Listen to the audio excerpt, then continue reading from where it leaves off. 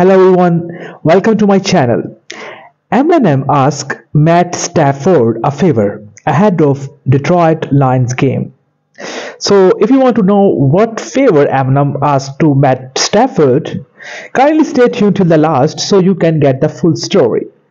So Eminem is trying to get some extra insurance for the Lion game on Sunday through a favor what he's trying to do he's trying to get some extra insurance for the lion game on sunday through a favor the detroit rapper called on rams quarterback matthew stafford to let the lions win. Well this is a very strange uh, favor.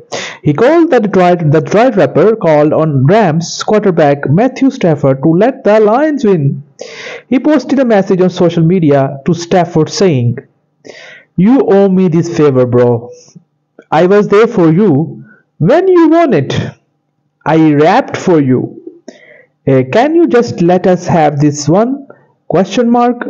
Just this one. there, I hope you guys have read his social media post that he posted this one. Uh, again, if you want to us to uh, read it again, uh, he read, "You owe me this favor, bro. I was there for you when you won it. I rapped for you. Can you just let us have this one? A question mark. Just this one exclamation mark. Eminem is uh, referring to a Super Bowl 56 at SoFi Stadium in 2022, if you remember, guys, where he and several other rappers performed at the halftime show.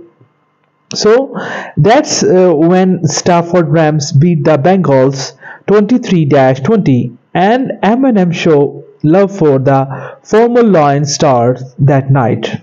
So the Lions are set to face the Rams on Sunday at 8:15 p.m.